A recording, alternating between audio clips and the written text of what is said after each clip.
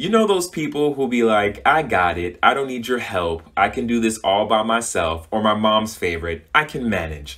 Uh, this was my mindset for many years when I was younger until I surrounded myself with people who taught me how to become successful.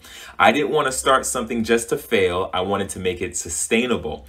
Any true leader knows you need a team to make your vision come to life. Working in isolation doesn't always work. You need different perspectives and ideas to help you see what you can't see.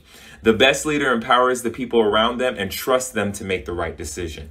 I've accomplished more with unity than with division. Asking for help keeps me humble and open for feedback. If you know everything and stop learning, you'll never grow. God taught me that I'm never alone, and He said, Where two or three are gathered in my name, there I am among them. I am only here to remind you that you're never alone, God is always with you, and you don't have to do it all. If you ever need any help or support, please feel free to reach out. Thanks, guys.